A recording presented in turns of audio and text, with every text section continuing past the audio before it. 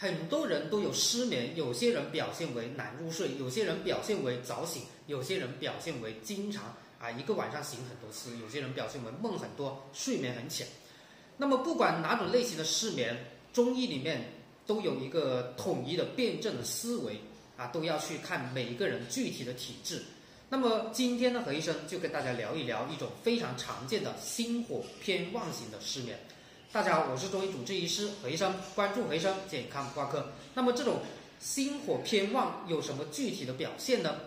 最经典的啊，就有这几个方面。首先就是他的失眠，很多情况下会伴有这种梦很多的情况，同时呢又伴有，比如他睡不着的时候会心烦意乱啊，总感觉好像很烦躁的这种，这是他失眠的一个特点。那么除了这个失眠的特点，还有没有其他能够判断一个人是属于心火旺呢？非常关键的就是看舌头。那么如果是心火偏旺的人，他的舌头这个舌尖部分啊，舌头尖部分呢会特别的红，比其他地方都会红。有些严重的还会出现一点一点的这种红色的点。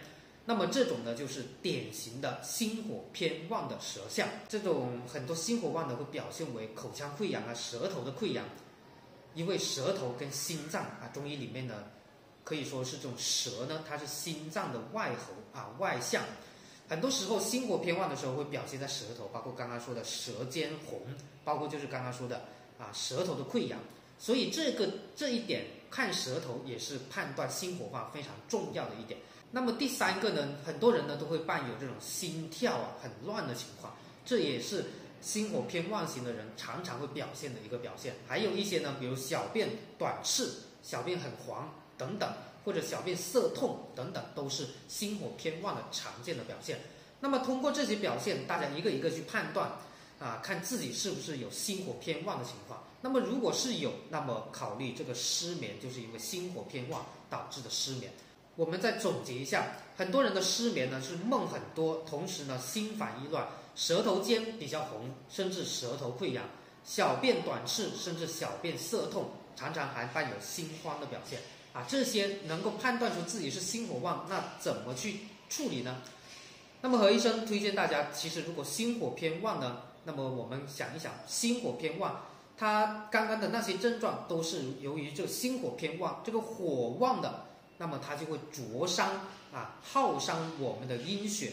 那么心脏的阴血变少了，它就不能去涵养我们的心神，那么就会出现这种心神意乱的情况。所以呢，我们治疗呢，一个呢就要清心火，这个是最关键的；第二个呢就是养这个阴血；第三个呢就是宁心安神。那么比较好的、比较有针对性的，那么就是朱砂安神丸。那么这一个中成药呢，就是针对这个心火偏旺型的失眠的一个。啊，比较有针对性的。那么这一个呢，就是因为里面呢含有朱砂，所以呢不宜久服过量的服用。而且呢，孕妇包括肝肾功能不全的人也是不可以服用的。那么这一个药呢，本身它是治疗这个心火旺的。那么如果是没有心火旺的人群，那肯定是不合适吃的。特别是体质又寒的，它本来就没有火，反而是比较寒。包括就是阳虚体质的人，还有就是脾胃虚弱的人群等等，那么这种情况下也是不适合用的。好的，那今天呢就跟大家聊这个比较常见的临床上比较常见的一种类型的失眠，叫做心火偏旺型的失眠。好的，那今天就跟大家聊到这里，关注回声健康不挂科，我们下期再见。